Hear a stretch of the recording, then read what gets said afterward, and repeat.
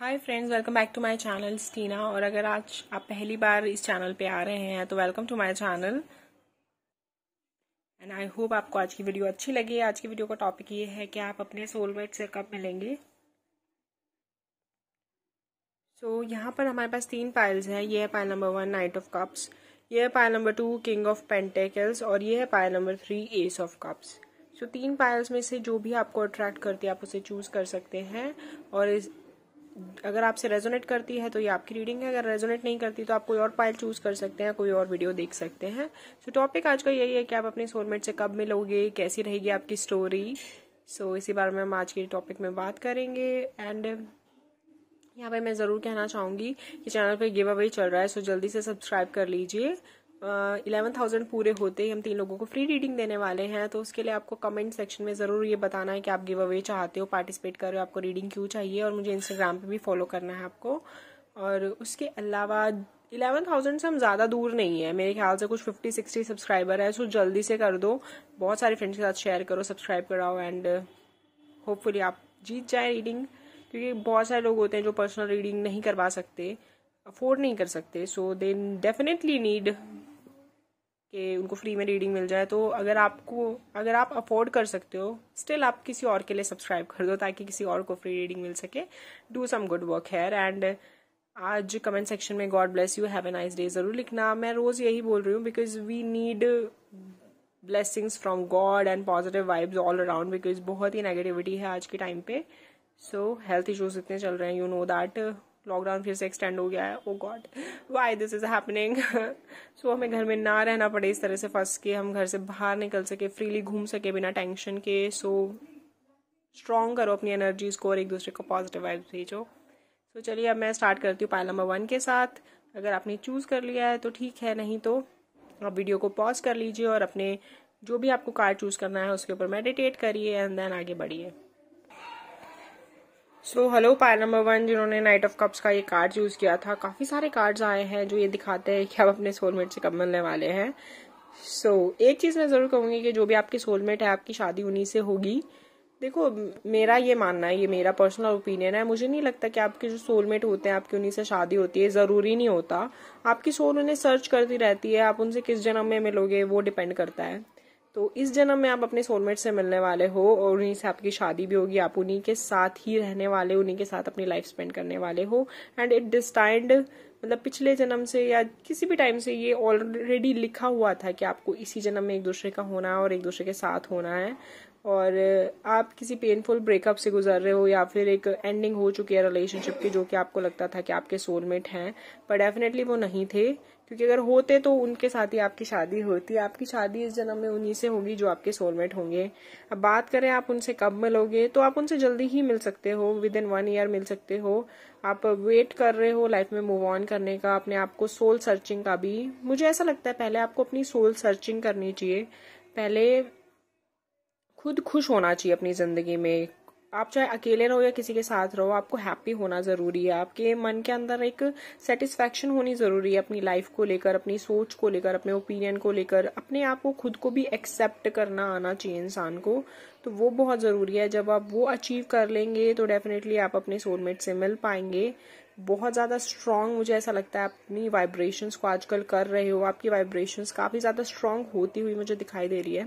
तो ऐसे में क्या होगा कि जैसे धीरे धीरे अगर आप अपने ऊपर और काम करोगे, आप एकदम वेल बैलेंस्ड मेजॉर्ड इंसान बन जाओगे तो आपकी वाइब्रेशंस इतनी ज़्यादा रेज हो जाएँगी कि जो भी आप मैनिफेस्ट करोगे अपनी लाइफ में, जो भी आप विश करोगे, वो आपको मिल जाएगा। जस्ट विश इट एंड वो आपके सामने होगा, वो आपको मिल जाएगा। तो अगर आप अपने सोलमेट के लिए प्रे करते हो तो आपको वो भी मिल जाएँगे। You are praying for a beautiful wedding जिसमें आपकी फैमिली आप और फ्रेंड्स वगैरह सब बहुत खुश हो तो आपको वो ज़रूर मिलेगा। You are manifesting a healthy lifestyle a healthy stable family वो भी आपको ज़रूर मिल जाएगा। ये सब कुछ आपको बहुत ही जल्दी मिलेगा विद इन वन ईयर मिलेगा। डोंट वरी अबाउट दैट और जो पहले वाला रिलेशनशिप था, वो आपके लिए बिल्कुल भी सही नहीं था। वो रिलेशनशिप में एक काइंड ऑफ़ को डिपेंडेंसी मुझे दिखती है। जैसे आप उनके ऊपर पूरी तरह से डिपेंड हो गए थे, उनके बिना आपको अच्छा नहीं लगता था थोड़ा देर भी। अगर आप वो कहीं चले जाते थे तो आप इनसिक्योर हो जाते थे। अगर वो किसी और से बात कर रहे हैं, आपको टाइम नहीं दे रहे तो आपको डर लगता था कि कहीं आप लोग अलग तो नहीं हो जाओगे, आपको छोड़ के तो नहीं चले जाएँगे। बहुत ज़्यादा टॉक्सिक हो गया था आपके लिए। ऐसा नहीं कह सकते कि सारी गलती उस पर्सन की ही थी। आप भी अपने इमोशंस को नहीं संभाल पा रहे थे उस रिलेशनशिप में और जिस चीज़ का फ़ायदा भी सबने उठाया है। और आपको बहुत ही मेंटली हैरेस किया है टॉर्चर किया है। आपको ऐसी ऐसी बातें सुनाई गई हैं जो आपको शायद कभी किसी ने कही नहीं होगी और आप डिजर्व भी नहीं करते थे वो बातें because you are a pure soul and you are a very good person but still आपने वो बातें सुनी और आप सही सिर्फ़ प्यार के लिए बिकॉज़ यू थॉट कि वो आपका सोलमेट है, वो आपका प्यार है, इसलिए आपने आप वो सब कुछ सहन किया। और वैसे भी आपकी वो यंग एज थी और यंग एज में इस तरह की चीज़ें हो जाती हैं इंसान से। वो इस तरह की चीज़ों को टॉलरेट करते हैं, क्योंकि उनको समझ नहीं होती। लेकिन बार बार वही गलतियाँ करना समझदारी नहीं है। देखो, आप छोटी उम्र में इस तरह की गलतियाँ करते हो क्योंकि आपने दुनिया नहीं देखी होती। लेकिन एक बार दुनिया को देखने के बाद, इस तरह के एक्सपीरियंसेस के बाद आप दोबारा दोबारा वही गलतियाँ करो, वो मुझे समझ नहीं आता। तो you have to be mentally strong and physically strong और आपको अपने ऊपर काम करने की बहुत ज़रूरत है। और आप अभी कर भी रहे हैं। मुझे लग रहा है आप अकेले रहने की सोचते हैं और अकेले अपने सारे काम करने की सोच रहे हो। आप डिपेंड नहीं हो रहे किसी के ऊपर, लेकिन कभी कभी आपको अकेलापन भी लगता है यू आर थिंकिंग ऑफ़ कि आप कोई पेट रख ले, या फिर आपने रख भी लिया हो। देखो, अगर अभी पेट नहीं रख सकते, या फिर आपको ऐसा है कि आप पेट की पूरी तरीके से ज़िम्मेदारी नहीं ले सकते ट्वेंटी फोर सेवन तो आप किसी एनजीओ में जा सकते हो। आपकी गली में भी आसपास आपको मिल सकते हैं पेट्स मिल सकते हैं, या फिर स्ट्रे एनिमल्स मिल सकते हैं। आप जाके उनको खाना खिला दीजिए, उनके साथ टाइम स्पेंड करिए।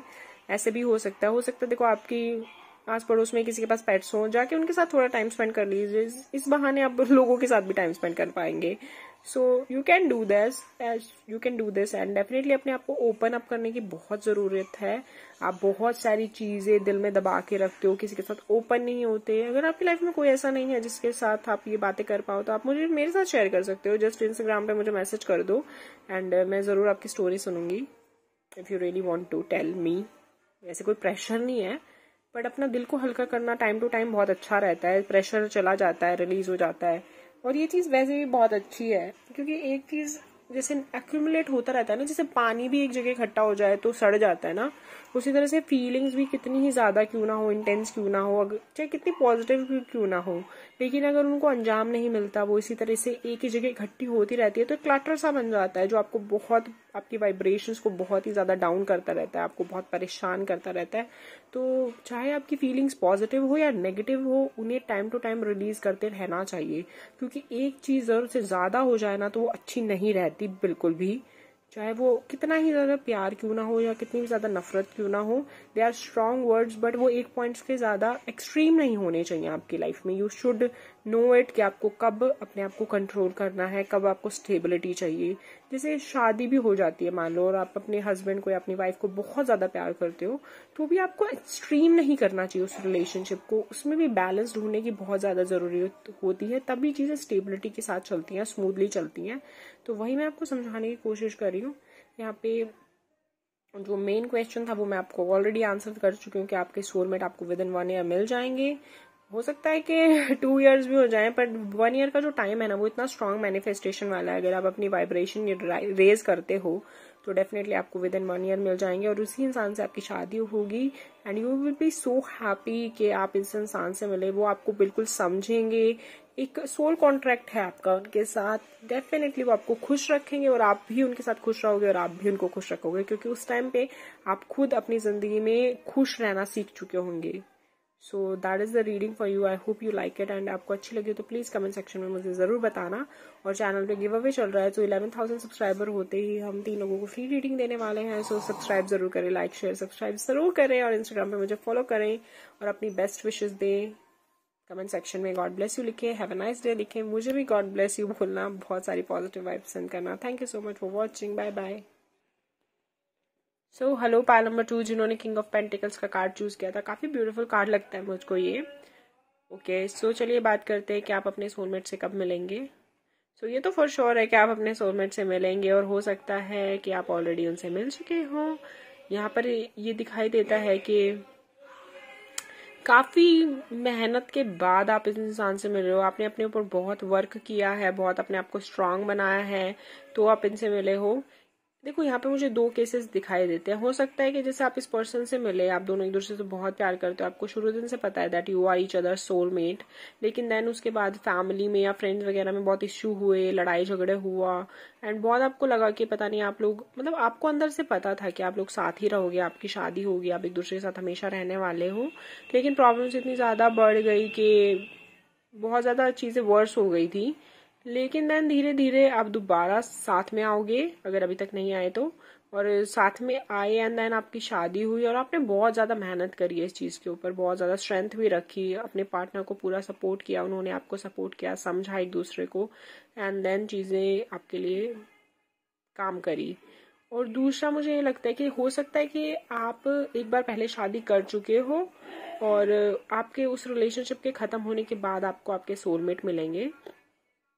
मतलब चाहे जो भी हो, आपके केस में चाहे आपको पहले प्यार मिल गया हो या जल्दी शादी हो गई हो, एक बार आपको ब्रेकअप के थ्रू गुजरना ही पड़ेगा। चाहे आपकी दोबारा उसी इंसान के साथ पैचअप हो या फिर आप दोबारा किसी और इंसान के साथ शादी करो, लेकिन आपकी ज़िंदगी में आपके जो सोलमेट है ना, उनके साथ आपका ब्रेकअप ज़रूर होगा। बेसिकली आप जब भी आप प्यार में जाओगे, एक बार आपको ब्रेकअप से गुजरना पड़ेगा। चाहे आप सेम इंसान के साथ पूरी ज़िंदगी गुजार दो या फिर आप दोबारा शादी करो।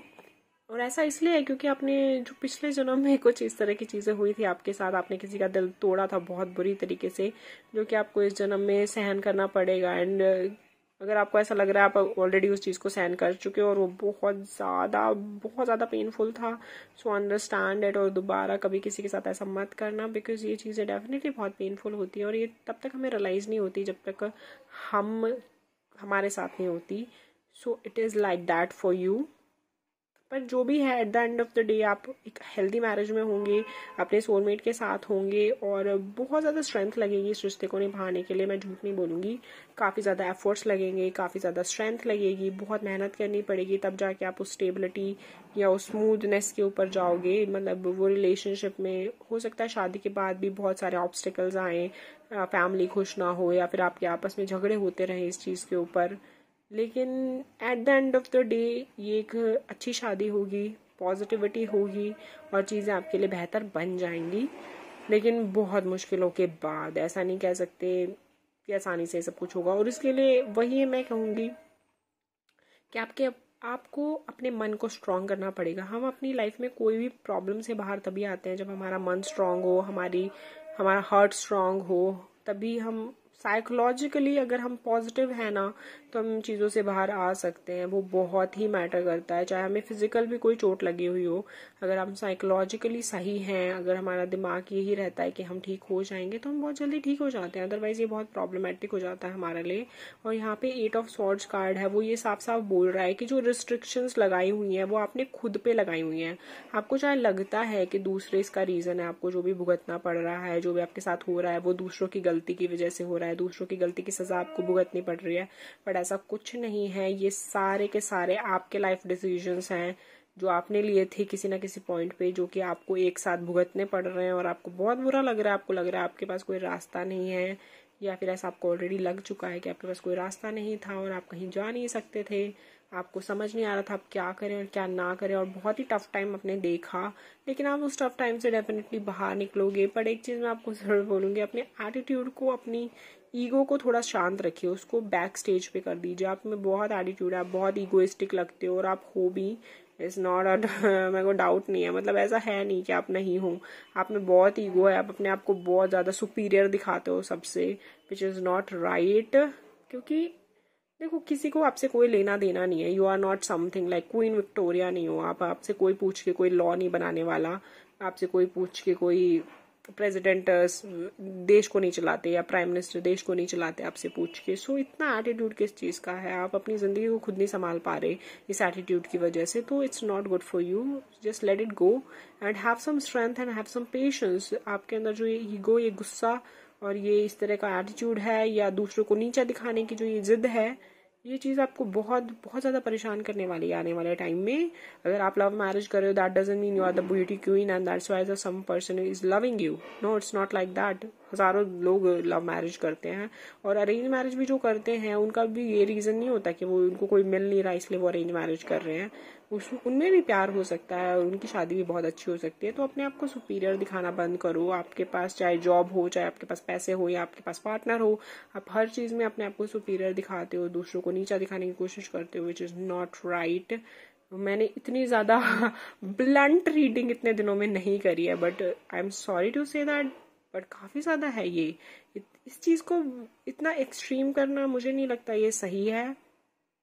आपको अपने ऊपर वर्क करना चाहिए, अपने आप को थोड़ा हम्बल बनाना चाहिए, थोड़ा नहीं एक्चुअली बहुत हम्बल बनाना चाहिए। देखिए जहाँ पे जैसे स्ट्रेंथ का कार्ड है, वो क्या कर रही है कि शेर के दांतों को गिन रही है। उसमें इतनी स्ट्रेंथ है कि वो शेर के मुँह में भी हाथ दे सकती है, पर इसका मतलब ये नहीं है कि ये चीज़ का शो ऑफ़ आप दुनिया के सामने करो। आपके स्ट्रगल्स आपके स्ट्रगल्स हैं, दुनिया भी अपने स्ट्रगल्स भुगत रही होती हैं।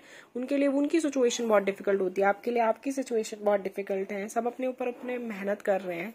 अगर आपको कुछ करना ही है तो किसी को किसी की हेल्प करो, किसी को पॉजिटिव वाइब्स दो, किसी के साथ प्यार से बात करो, लेकिन किसी को नीचा दिखाना, किसी से अपने आप को सुपीरियर समझना, ये चीज़ें आपको डाउनफॉल की तरफ़ लेके जाती हैं तो आपको वैसा करने की कोई ज़रूरत नहीं है। आपको मेडिटेशन करने की ज़रूरत है, ताकि आप इन चीज़ों से बाहर आ सके आपको बात बात पे ऐसा लगता है कि जब कोई कुछ आपके साथ हो जाता है तो आपको लगता है लोग आपसे चिड़ते हैं, जलते हैं, वो आपको नज़र लगा देते हैं, लोग आपके लिए कॉन्स्परेसी कर रहे हैं, इसलिए आपके साथ ऐसा हो रहा है। बट ऐसा कुछ भी नहीं है, ये सिर्फ़ आपके ही डिसीजंस का फल होता है, जो भी आपके साथ होता है। So walk on yourself be humble be patient and खुश रहने की कोशिश करा करो, चाहे सिचुएशन कुछ भी हो। और जैसे सूरज होता है ना, हमेशा चमकता रहता है, लेकिन वो रोशनी दूसरों को देता है, खुद जल कर भी। अगर आप इतना ज़्यादा शाइन कर रहे हो इतना ज़्यादा चमक रहे हो तो अपनी रोशनी दूसरों के साथ बांटो। अदरवाइज़ आप खुद तो जलते रहोगे लेकिन दूसरे आपको कभी भी नहीं अच्छा समझने वाले क्योंकि आप अपनी रोशनी उनके साथ बांट ही नहीं रहे। सूरज की पूजा क्यों होती है? क्योंकि वो खुद जल के दूसरों के साथ अपनी रोशनी बांटता है। इसीलिए होती है ना। सो so, उसके लिए आप चाहे कितने भी लाइफ में बड़े बन जाओ जब तक आप दूसरों के साथ हम्बल नहीं होते नो बड़ी विल रिस्पेक्ट यू सिर्फ़ पैसों से रिस्पेक्ट नहीं होती। अगर होती होती तो ज़ाहिर बात है सिचुएशन दूसरी होती। एक टाइम होता है, एक रुतबा होता है पैसों की वजह से, लेकिन वो भी टाइम के साथ चला जाता है। अगर आप रिस्पेक्ट नहीं करते सामने वाले इंसान की हम्बल नहीं रहते तो वो चीज़ चली जाएगी। You need real relationships in your life so work on that I hope ये आपको ये रीडिंग अच्छी लगी होगी। Thank you so much for watching और गिव अवे चल रहा है सो लाइक शेयर सब्सक्राइब ज़रूर करना। गिव अवे में यही है कि इलेवन थाउज़ेंड सब्सक्राइबर होते हैं, हम तीन लोगों को फ्री रीडिंग देने वाले हैं। तो कमेंट सेक्शन में मुझे ज़रूर बताना कि आपको फ्री रीडिंग क्यों चाहिए, अपना ईमेल आईडी वगैरह कोई कांटेक्ट करने के लिए देना, या फिर इंस्टाग्राम पे आप मुझे मैसेज कर सकते हो ताकि मैं आपको वहाँ कांटेक्ट कर सकूँ। जल्दी से सब्सक्राइबर पूरे करा दो एंड देन विल सी कि कौन जीतता है। और कमेंट सेक्शन में गॉड ब्लेस यू और हैव ए नाइस डे ज़रूर लिखना। Thank you so much for watching this video bye bye hello, pile number three, जिन्होंने सब कप का कार्ड चूज़ किया था। बात करते हैं कि आप अपने सोलमेट से कब मिलने वाले हैं। Okay okay. मुझे ऐसा लगता है कि जैसे आप अपने सोलमेट को, अपने फ्रेंड वगैरह को मतलब कोई बहुत टाइम से आपके फ्रेंड थे, बहुत टाइम से आप उनको जानते हो मैं भी हो सकता है बचपन से जानते हो वो पर्सन आपकी लाइफ में रहे हैं, लेकिन मुझे लगता है आगे जाके आप दोनों का ब्रेकअप हो गया। आपको ये लगता था कि वो आपके सोलमेट हैं। ये आपको लगता था वो रियल में आपके सोलमेट है या नहीं, वो देख लेते हैं यहाँ पर। ओके देखिए एक्चुअली अभी आपके लाइफ में इतने सारा स्ट्रेस इतना ज़्यादा प्रेशर इतनी ज़्यादा प्रॉब्लम्स चल रही हैं। ब्रेकअप हो रखा है।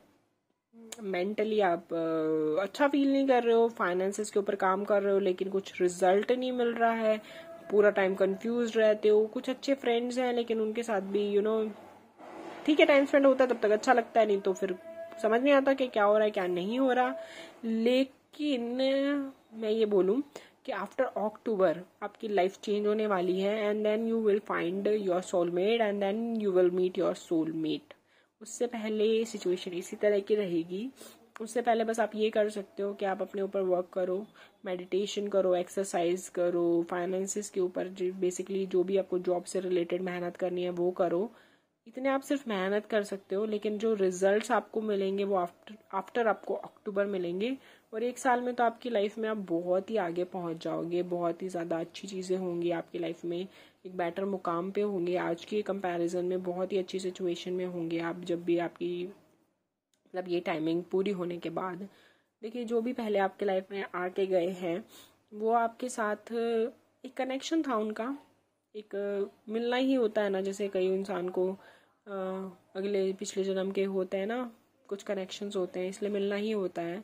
लेकिन वो आपके सोलमेट्स नहीं थे, मैं ये बोलूँगी। अगर वो दोबारा भी आपके लाइफ में आते हैं तो they were not your soulmates आपकी लाइफ में कोई नया ही पर्सन आएगा जो कि आपको अक्टूबर के बाद मिलेगा। अक्टूबर में भी मिल सकते हैं, हो सकता है अक्टूबर में ही आपकी लाइफ चेंज हो जाए, लेकिन अक्टूबर के बाद मिले ऐसा भी पॉसिबल है। Within one year you will find your soulmate and you will connect with that person और ये कोशिश आप ही को करनी है कि आप उस इंसान के साथ बने रहें। सोलमेट मिलने का मतलब ये नहीं होता कि आपकी उससे शादी हो ही जाएगी।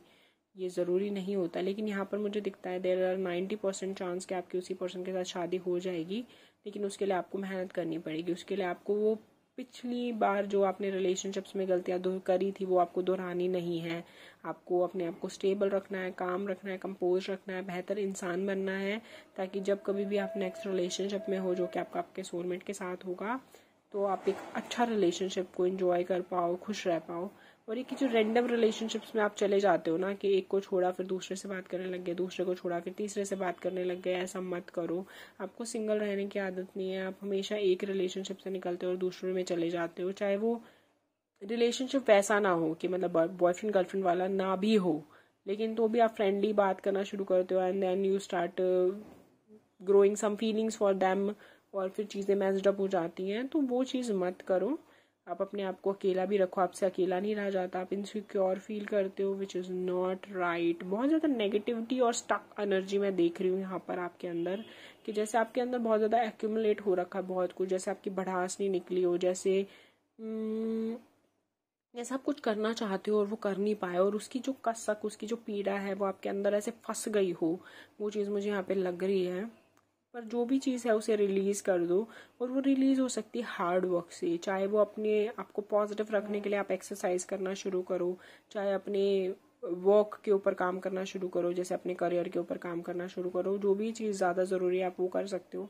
अब जैसे लॉकडाउन हुआ है और बेसिकली लॉकडाउन ही कह सकते हैं कर्फ्यू तो लगा पड़ा हर जगह, कहीं जा नहीं सकते, आ नहीं सकते, कुछ करना है नहीं।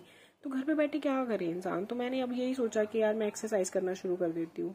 एक्सरसाइज करने के लिए अपने आप को कन्विंस करना it's very difficult and I am doing some exercises ताकि मेरी जो एक्स्ट्रा एनर्जी है, जो पहले तो कंज्यूम हो जाती थी रोज़मर्रा के काम में, लेकिन अभी तो पूरे दिन घर में बैठे बैठे कैसे कंज्यूम होगी?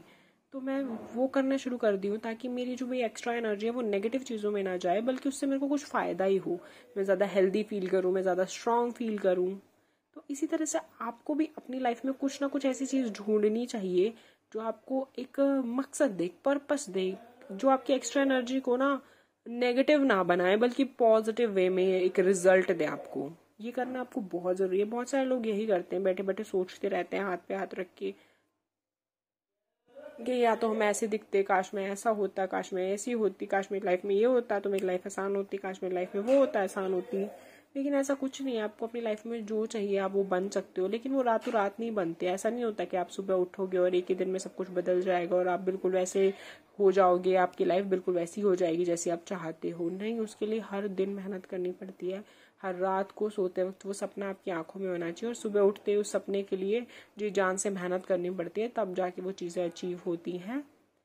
सो so, यही चीज़ मैं आपको बोलूँगी कि वो चीज़ करना बहुत बहुत ज़्यादा ज़रूरी है आपके लिए। Just work on yourself चीज़ आपके लिए टाइम के साथ अपने आप सही हो जाने वाली है। जैसा मैंने बोला कि अक्टूबर के बाद आप देखना, अगर आप इस टाइम पे मेहनत कर लेते हो, इस फ़ेज़ में मेहनत कर लेते हो तो अक्टूबर के बाद का टाइम आपके लिए इतना सुंदर और इतना खूबसूरत है ना।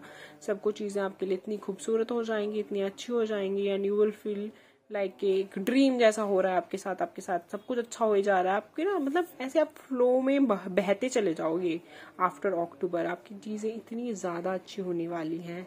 So bless yourself with the hard work and बहुत ज़्यादा हार्ड वर्क करो यार। ये, अगर आप वीडियो देख रहे हो तो it's a sign it's a symbol कि आपको हार्ड वर्क करने की ज़रूरत है। और अगर मेरी बातों से थोड़ा सा भी असर होता हो तो प्लीज़ उसे शुरू करें क्योंकि आपको बहुत आगे लेके जाने वाला है। एंड आई होप आपको रीडिंग अच्छी लगी हो। God bless you have a nice day comment section में भी लिखना और एक दूसरे को पॉजिटिव वाइब्स देना और इलेवन थाउज़ेंड सब्सक्राइबर होते हैं। हम तीन लोगों को फ्री रीडिंग देने वाले हैं। सो so, जल्द इस चैनल को सब्सक्राइब कर लो। Love you bye bye and take care